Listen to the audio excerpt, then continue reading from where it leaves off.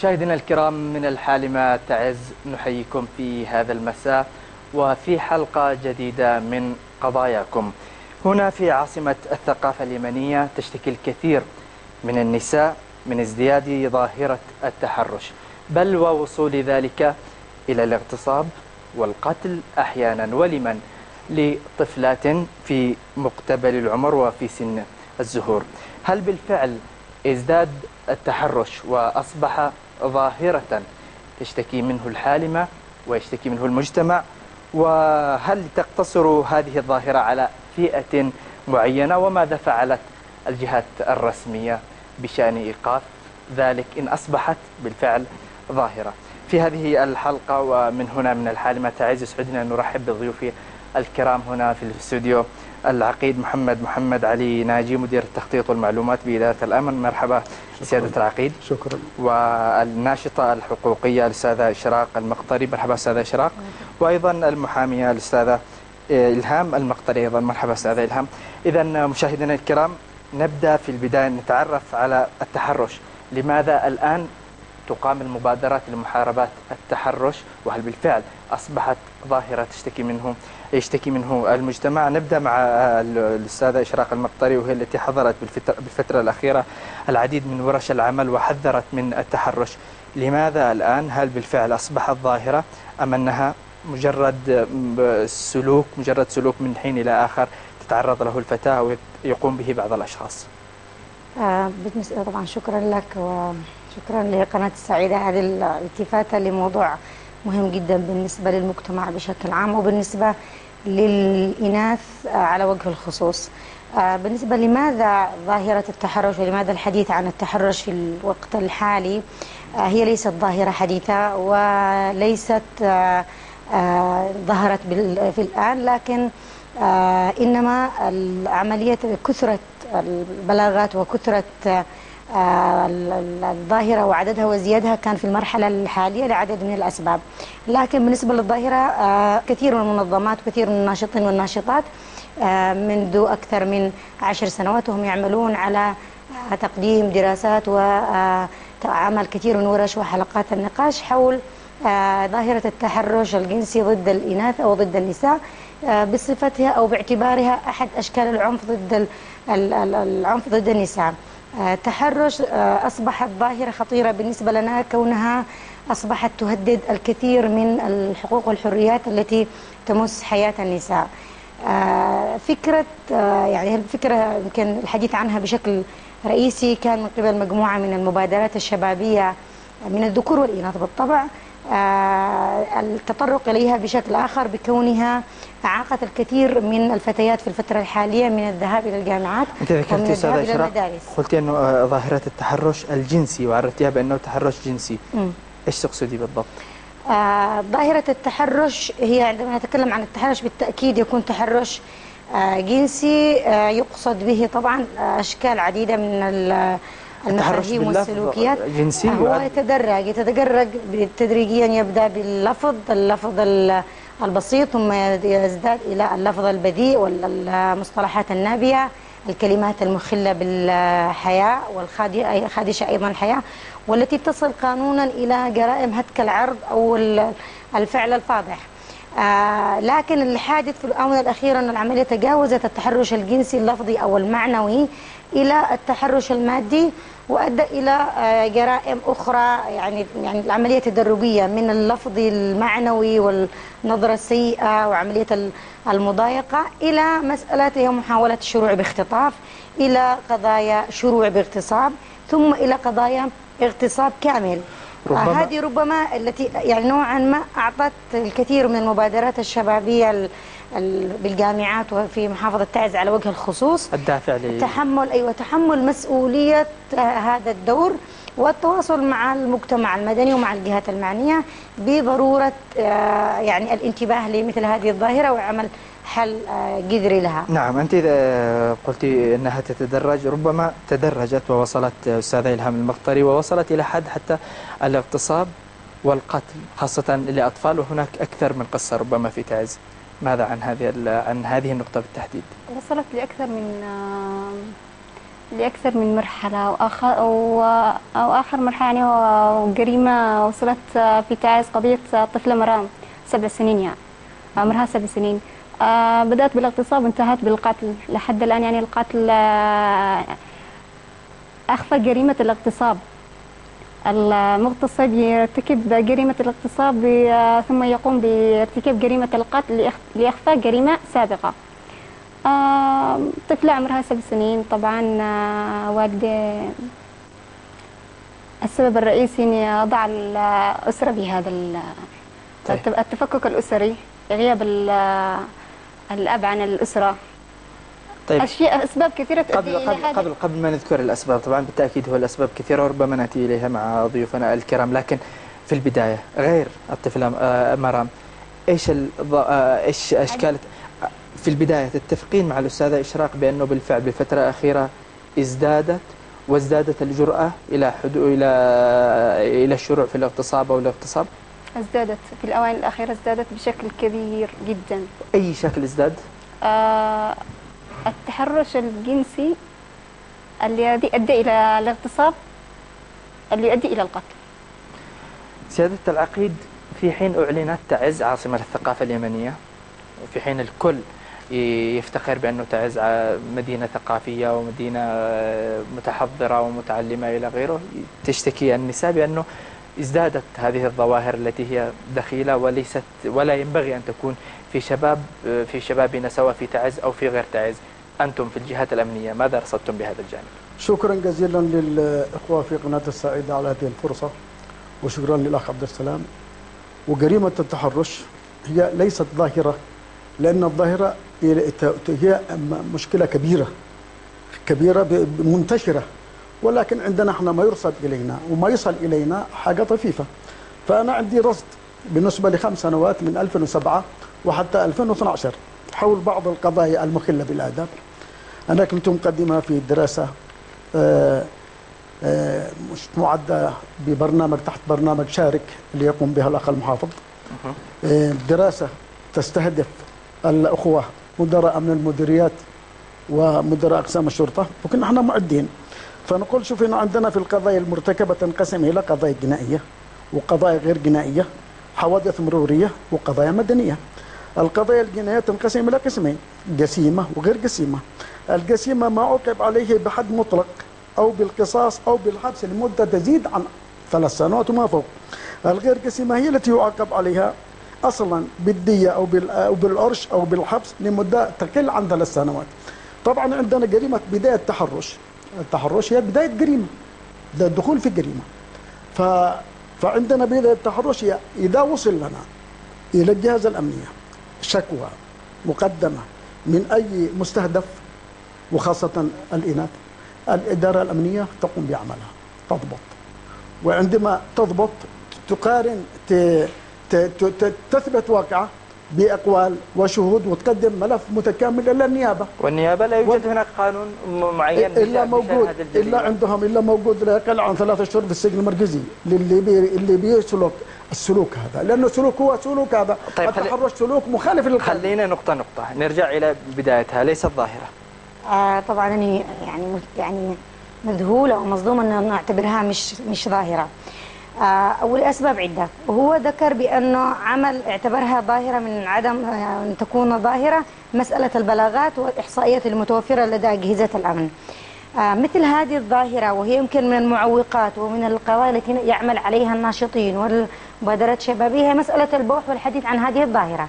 بمعنى صعوبة أن تتحدث النساء أو تتحدث الإناث بأن تعرضت لتحرش هي صعوبة موجودة وآنية وتحصل في هذه الأماكن. آه، التحرش يعني لو يعني كذا أحيانا توجد مؤشرات لأن تكون المعاملية ظاهرة وغير ظاهرة حتى في مسألة القياس الشعبي.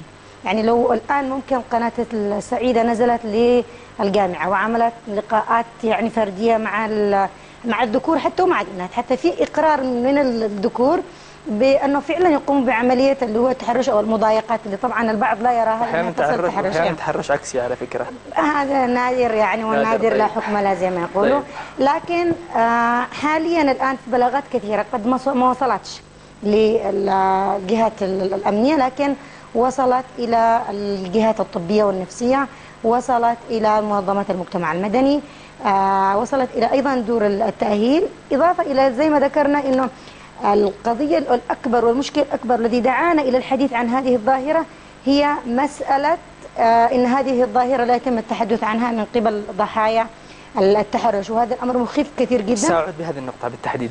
آه، سيادة العقيد بالفعل الكثير ممن تتعرض آه، أغلب من تتعرض لحالات التحرش لا تستطيع أن تبوح لأنه في مجتمع أقل شيء أنه يقول لها خلاص ممنوع تخرجي. ممنوع حتى تروحي المدرسة لأنك تعرضتي للتحرش بكرة بتتعرضي للتحرش. إذا خليك في المدرسة. وعلى فكرة أكثر من من من دراسة عندما توجد هناك دراسات آه، آه، مدى القرب بين الجهات الأمنية والمواطن تجد هناك فجوة. ربما هذا عامل أساسي أنكم لا ترصدون إلا ما يأتي لكم ولا تنظرون إلى إلى ما هو إلى العادة الاجتماعية الموجودة. لماذا لا تأخذون العادة الاجتماعية وحياء البنت من أن تشتكي بعين الاعتبار؟ بالنسبة للأجهزة الأمنية مدرهم. أنتم في المجتمع وين عايشين يعني؟ وين عايشين؟ أنا سأستعرض لك بعض بعض الإحصائيات لمدة ثلاث سنوات شوف لمدة ست سنوات. هنا عندي موجودة. هنا عندي شوف الأفعال المخلة بالآداب سواء كانت ملاحقات أو مضايقات أو إصدار كلام أو معاكسة تلفونية أو بأي شيء من يعني في سنة في سنة 2007 رصدت عندنا 72 جريمة. في سنة 2008 رصدت عندنا 2105 جرائم. في سنة شوف هنا شوف شوف الأول سنة 2007 كان 72 سنة سنة 2008 ارتفعت النسبة. ارتفعت إلى 105 شوف في سنة 2009 انخفضت إلى 64 شوف في سنة 2010 ارتفعت إلى 93 في سنة 2011 انخفضت إلى 36 في سنة 2012 إلى 51 شوف خلال 51 2012 معي شهر ديسمبر إحنا السنة حقنا السنة الإحصائية من ديسمبر إلى ديسمبر. يعني تنتهي في نهاية 2000 في نوفمبر 30 آه، نوفمبر وتبدأ وتغلق وتبدأ السنة الجديدة من 1 12 شوف عندنا هنا 51 اللي رصدت بينما في شهر يناير وفي وديسمبر كم رصدت عندي قضايا هنا في بالنسبة لأفعال مقلة بالاهداف هي 65 يعني من 51 إلى 65 في حدود 14 قضية. ما بين ديسمبر و ويناير. مسألة ثانية. مسألة ثانية. أصلا أين أنتم؟ الجهات الأمنية عندما تقول أنكم ما رصدتم أين أنتم؟ هل توجدون في الشوارع؟ هل توجدون آه، في, في, في, في الأسواق؟ هل توجدون في الجامعات في الباصات في أماكن التحرش؟ يعني على سبيل المثال في رمضان الجهات الأمنية معروف أنها تقف في بعض الشوارع هنا في تعز شارع 26 أو ما يسمى بشارع الحب وكل يوم بالعشرات تقريبا نشوف الطاق محمل ما شاء الله كل يوم لأنكم موجودين. أما بقية السنة أنتم غير موجودين فكيف تتحدث عن رصد وأنتم غير موجودين أصلا؟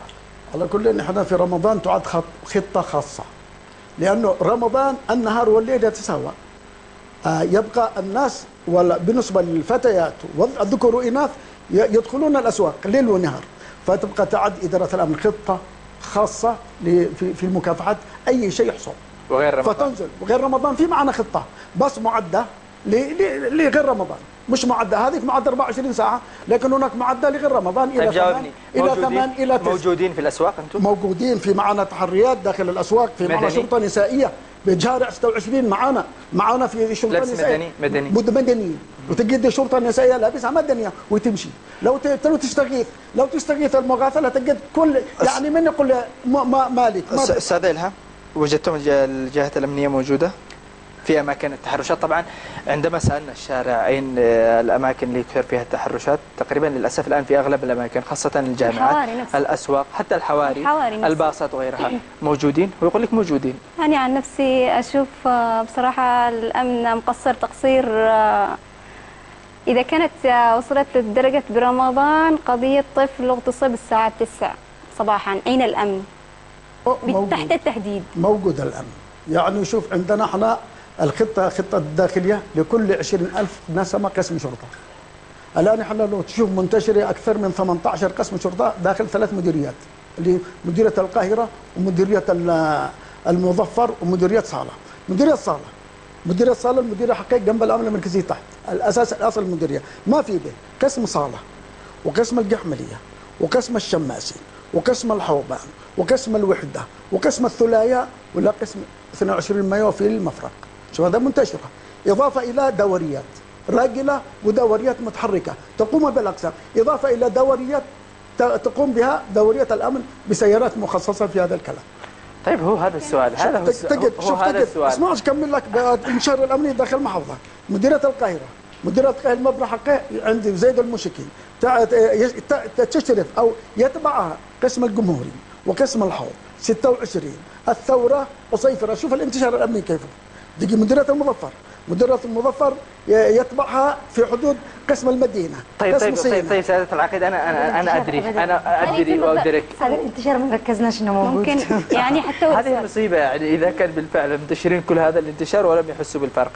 أصلا. حتى ولو يعني هل مرة- يتم ضبط خلي- الجانب خلي- طيب خلي خلي لحظة خلينا ملاحظة. نتحاور آه، نتحاور حوار. طيب ما عرفني هنا أسألك. إنه في حصل جريمة. هل إذا يتم- لم أبلغ عنها. إذا كان مبلغ هل يتم ضبط الجانب بنفس اللحظة؟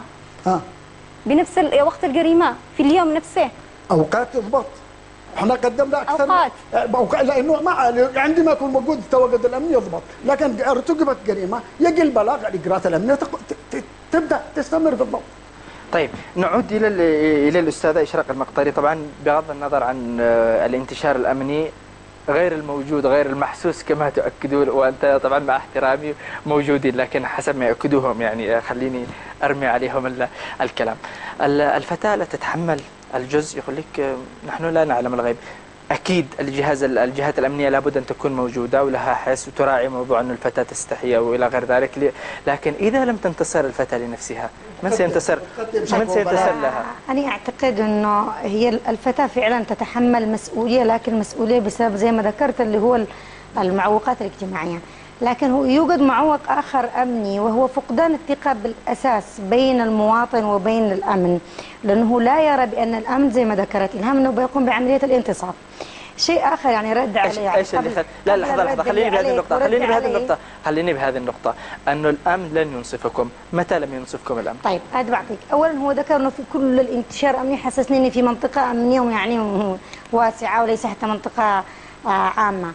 آه، تلاحظ إنه رجل المرور ذاته يعني اللي هو جزء من ماموريه الضبط وجزء من العملية الأمنية آه، يحدث عملية المعاكسات أو التحرشات وحتى المضايقات للإناث أمامه وبالتالي لا يحرك ساكن. مش هو؟ أهم شيء مش هو. بانتظار لا وأحيانا هذا بنجيله بعدين. آه ال- ال- بانتظار بانتظار حاجة واحدة هو بانتظار ان تتكلم.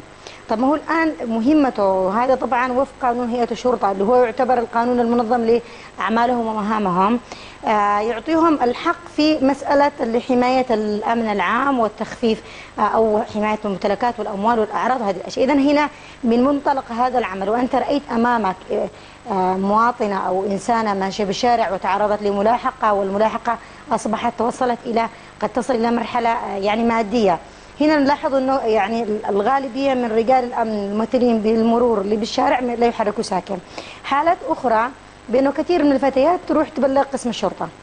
النظرة رجل الشرطة لا ينظر إلى مثل هذه الجرائم بأنها جرائم تستحق بأن يقوم بعملية آه، يعني أمنية أو إدارية وضبط إداري بأنه مسألة هو يعني نزوة رجل أو آه، يعني زي ما يقولوا آه، نوع من المداعبة البسيطة يعني لا تشكل جريمة بوجهة نظره يعني تمام. فهذه الإشكالية بأنه رجل الأمن ذاته هو لا يرى بأنها تعد جريمة تستحق هذا التحرك. آه رقم اثنين كمان هو بالنهاية مع احترامي لل- لل- للبعض لكن البعض الآخر هو تن- تنشأ أو تربى تربية اجتماعية تقول له بأن الفتاة التي تقوم بعملية التبليغ والتي تقوم تق- تقديم الشكوى هي فتاة جريئة وبالتالي لم يكن هذا الرجل أو هذا الذكر مخطئ بحق الفتاة يعني. يعني كثير يقولوا يبين عليه أنها جريئة قد أجاءت واشتكت وهذه الأشياء. طيب خلينا نعود إلى. نقطة آه، آه، أستاذة إشراق. أنت ذكرتي أنه أحيانا نقوم عمليه تحرش أو عملية اعتداء أحيانا لفظي ما نقول إنه مادي. ورجل الشرطة ساكت. حتى في المجتمعات المتقدمة يعني يقول لك آه، أهم شيء البنت لا تشتكي. في بعض المجتمعات المتقدمة موجود هذا القانون. و- وأنتم الناشطات تطالبوا أصلا بأنه نسلك هذا السلوك سلوك الدول المتقدمة والقوانين المتقدمة. إذا لم تشتكي البنت إيش دخلني يعني؟ أوكي. آه أن أولا نحن لا نبحث بأن نكون مثل دولة ما أو مثل مجتمع ما. نحن نتكلم عن مجتمع يمني حريص بأن يكون قائم على أساس احترام حريات وحقوق الآخرين. آه فالمرجعية بالنسبة لنا مرجعية مجتمع اليمني والمرجعية الأخرى مرجعية حقوقية آه بحتة يعني. هي أنا معك بأن الإشكالية والمعوقة الأكبر هي مسألة صعوبة التبليغ. وهذا كما ذكرنا هو من الحملة هذه اللي إحنا شغالين عليها الآن واللي قائم فيها يعني مجموعة من الشباب والشابات كمبادرة ذاتية والحملة اسمها إرفض أو ارفضي التحرش. الرفض هذا يكون من المجتمع بشكل عام من الذكور والإناث. رفض التحرش الآن عندما أجد أنه الآن مثل هذه الآن الحملة الإعلامية المتزامنة مع حملة رفض التحرش يعطي الكثير من البنات القدرة أو الشجاعة بأن ترفض مثل هذا التحرش وتبلغ. المسألة أيضا مسألة يعني مترتبة أو متسلسلة. أو يعني نلاحظ أن مناطق التحرش متواجدة بشكل رئيسي في الباصات كمثال يعني. يعني هي تلاحظ أنه في مجموعة ترفض التحرش يتكلم صاحب الباص.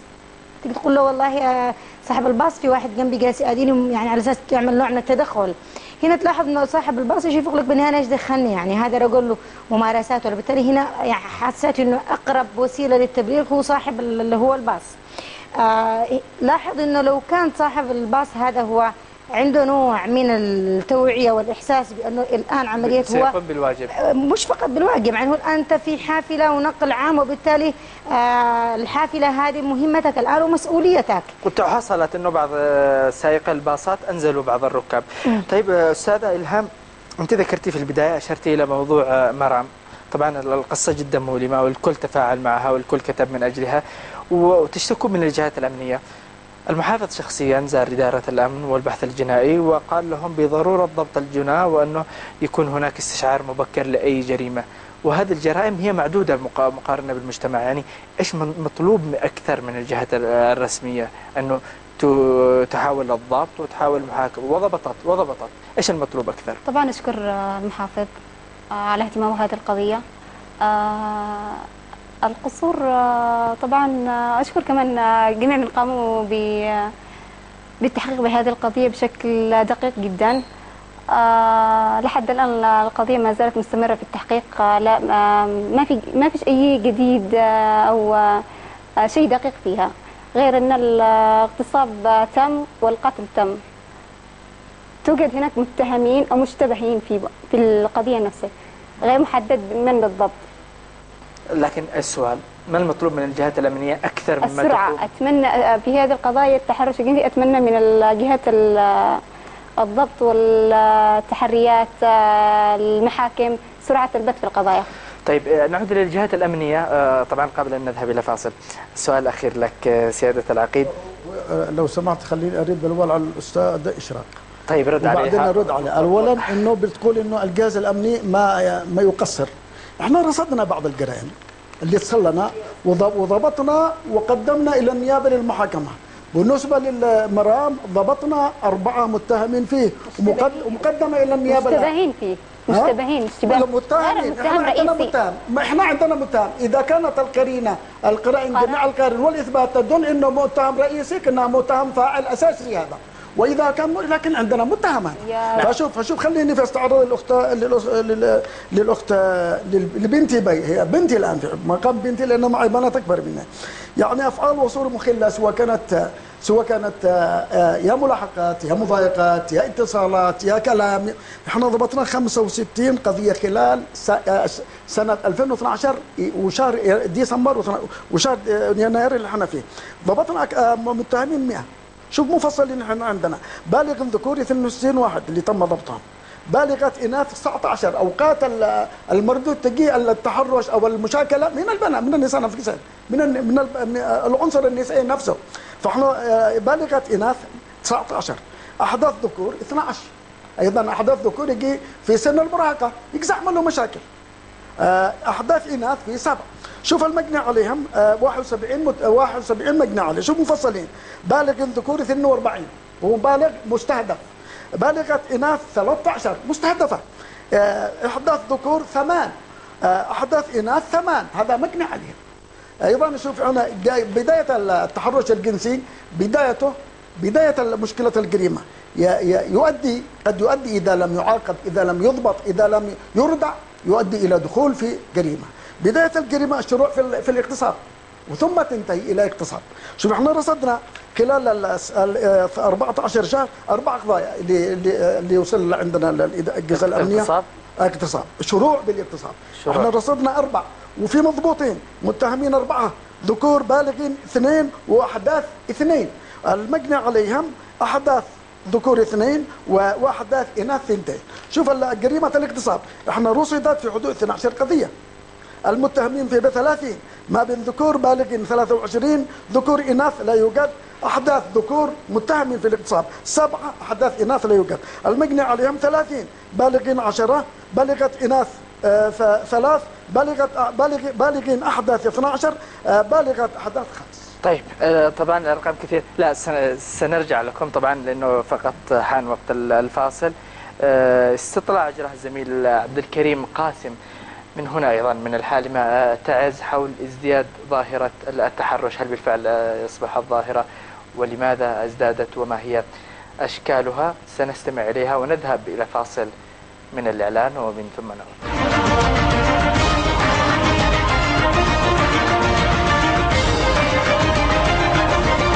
بالنسبة لقضية التحرش طبعا هي قضية أنا من وجهة نظري تعتبر مجتمعية وهي فساد أخلاقي. من جانب الشباب كذلك لا أخفيك أنه كمان في من جهة البنات يتم تحرش لكن ليس بالشكل الكبير الذي نلحظه من جهة الشباب. فكمان حتى حصلت في تعز في مؤخرا كثير من قضايا الاغتصاب كانت آخرتها قضية الطفلة مرام التي اغتصبت في منزلهم. فأعتقد أنه السبب الذي يعني يؤدي إلى انتشار هذه القضايا مثل قضايا الاغتصاب وغيرها هو الفساد الخلقي بين الشباب وقلة الثقافة المجتمعية. الموضوع هذا هو أصبح من ظاهرة إلى أشبه بسلوك ونطالب بالجميع بالتكاتف المجتمع كامل بالوقوف في هذا الموضوع وعمل حل يعني المرأة أم وأخت وبنت والرجل أب وأخ وابن يعني العملية عملية تكاملية كيف نحل هذه المشكلة ونحد منها. أعتقد أن الحلول تكون بالتوعية وأيضا تكون بوقفة جادة آه، ت- تقريم قانون التحرش آه، آه، إدارة الأمن تنزل تعمل تعمل تنزل عمل يعني تمسك ناس يا- يشوفوا المتحرش ويمسكوه ويعاقبوه. لو نتحدث عن الأسباب الأساسية والرئيسية للتحرش هي هي آه، يعني كذا جوانب عدة جوانب. منها آه، الجانب الديني. آه، نتحدث عن الجانب الوازع الديني المفقود. المفقود فعلا في مجتمعنا آه، بالرغم من إنه مجتمعنا ديني. آه، في آه، وكمان جانب آخر هو الجانب الأخلاقي. انعدمت التربية والأخلاق. وعدة جوانب أخرى.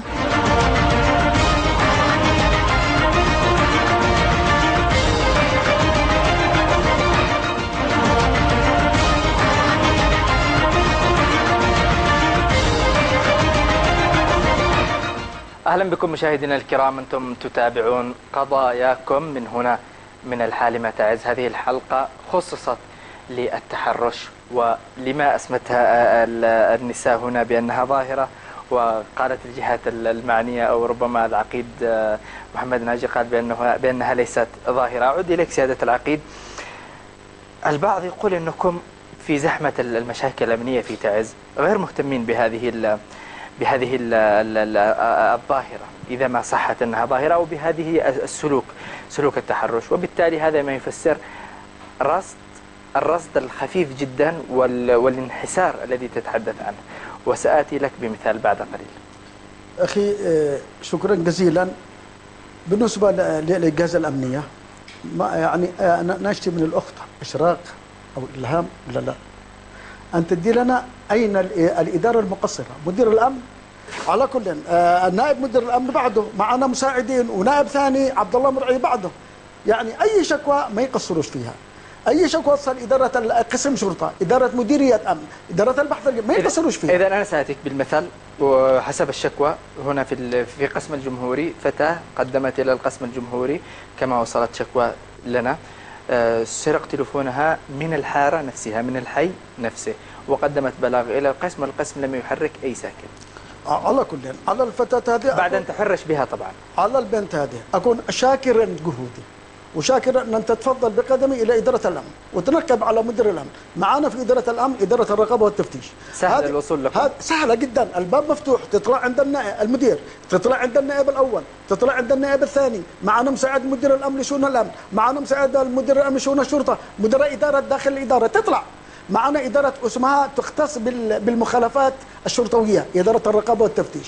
هذا أي مدير أمن أي مدير قسم شرطة أي ضابط أي فرد. يرتكب شيء يطلب للتحقيق. وأوقات يقدم إلى المجلس التأديبي. مجلس التأديبي بقيادة نائب مدير امن المحافظة يقدم لمجلس التاديبي وأوقات يدي إلى فصل. طيب آه، نقطة ثانية. بعض الفتيات تخاف من أهلها أن تشتكي إلى أهلها. إذا ما قدم البلاغ إليكم هل بالإمكان أن يكون بلاغ سري لديكم؟ ممكن ممكن ونحن نتحرك سريا.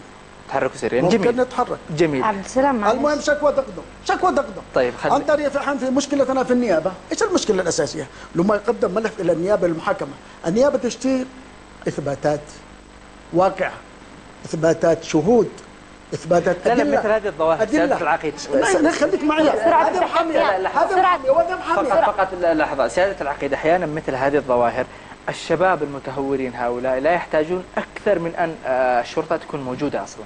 يعني لا يحتاج الأمر إلى الوصول إلى محاكم ونيابات.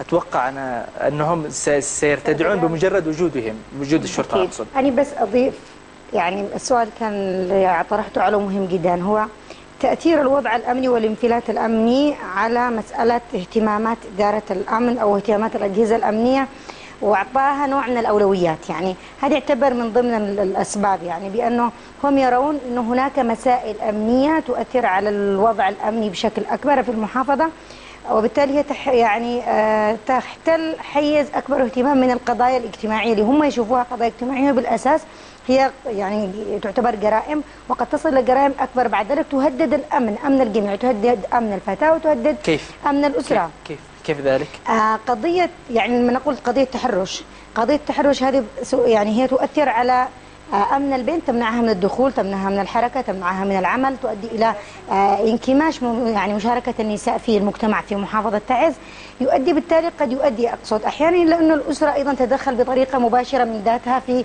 عملية ال- الانتقام أو الاقتصاص ووجود صراعات في النطاق والمحيط ال- الاجتماعي بشكل عام جزئية أخرى يعني ذكرها بأنه في أقسام الشرط بشكل عام في يعني إدارات أمن المديريات في غياب كبير للشرطة النسائية يمكن هم يعرفون أنه في قلة. غير عملية القلة بأنه حتى القلة أعمال الشرطة النسائية أعمال إدارية بحتة يعني في السكرتارية في الطباعة. الأنثى قادرة أعتقد على البوح والحديث في التبليغ لدى أقسام شرطة تتواجد فيها شرطة. نسائية يعني آه، موجودة على مدار 24 ساعة تستقبل بلاغات تساعد قادرين؟ قادرين؟ عفوا. على قادرين؟ قادرين على توفير الشرطة النسائية على ولا في كل صعوبة؟ على كل سيدي آه، اسمح لي وشكرا لاختي بنتي إشراق. آه، أول شرطة النسائية موجودة في مديريه القاهرة. إحنا وزعنا في توزيع في إدارة الأمن وزعت. في شر... في ش... كم؟ ثنتين ثنتين ثنتين القاهرة شرطة ثنتين؟ شرطة؟ لا لا لا قسم عن في بعض الشرطة. لحظة خليني يا بنتي الله يبارك بك. أوقات قسم الشرطة مش مؤهل أن يستقبل شرطة نسائية. ما مش مقا... مش قادرين مش قادرين نوجد غرفة على أساس تبقى منفردة للشرطه النسائيه لأنك ما تشوف البنية التحتية عندنا في تعز صفر. يقول هذه المفتوح كده. أقسام شرطة إيجارات أغلبية الأقسام إيجارات دكاكين. فما مشجع. رعى الله المحافظ الآن مبادر مبادرة قوية لأنه وضع المهام الأمنية أو ال- ال- ال- العمود الأمني أو زي ما نقول العمل الأمني نصب عينه. الآن في مبادرة في بناء في في بناء 11 قسم شرطة نموذجي ومع تسوير أراضي في الشرطة أيضا وزارة الداخلية الآن في مشروع في بناء أيضا أقسام شرطة. لكن إحنا الآن لما نجي ننزل قسم الشرطه النسائيه في منتشرة في البحث الجنائي موجودة الشرطه النسائيه في السجن المركزي موجودة الشرطه النسائيه في المطار موجودة الشرطه النسائيه في المركز الاهلي موجودة الشرطه النسائيه في في الأحوال المدنية موجودة الشرطه النسائيه في الجوازات موجودة الشرطه النسائيه يقدم خدماتهن لل- للإناث.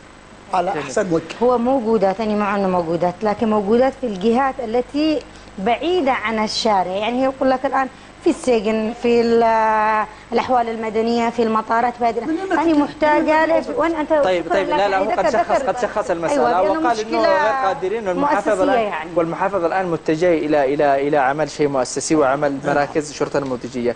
الهام التحرش يقتصر من الذكور. خلينا نتكلم على الذكور. على فئات معينة.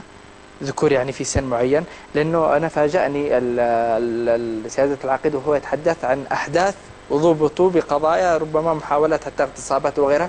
و- ومن أحداث. هي- هي- وأنت هي دائرة- متخصصة. في. متخصصة في. الأحداث أنا طيب. أنا شوف ما عنديش فكرة أنا كنت أطلع قضايا الأحداث كامل أمانة. طيب. في في ح- في أحداث دخلوا في جرائم القتل. في أحداث دخلوا في السرقات. طيب خلينا من خلينا خلينا من السبب. من السبب؟ لا لا خلينا. الهم عشان ما نخرج من الموضوع ونحن الآن في نهاية الحلقة. سن معين يقتصر على على على على الشباب آه، فيه بالتحرش ولا في أطفال وفي مراهقة متأخرة وفي مراهقين. إيش السن ال- ما هو السن لل- للتحرش؟ مفتوح محدد إيش بالضبط؟ آه السن هو مفتوح بس أكثر ال الفئة المح- المحددة للتحرش آه هي الفئة المهمشة أطفال الشوارع. ال- الذين يتعرضون الذين يتعرضون للتحرش لا المتحرشين. خلينا بالمتحرشين. المتحرشين آه طبعا آه سن المراهقة. مهم. آه بالاوان الأخيرة آه كبار في السن. وصلت يعني قضية شخص عمره 30 سنة. تحرش ب 20 طفل. إذا كان 20 طفل. إذا كان 20 طفل. يجي في في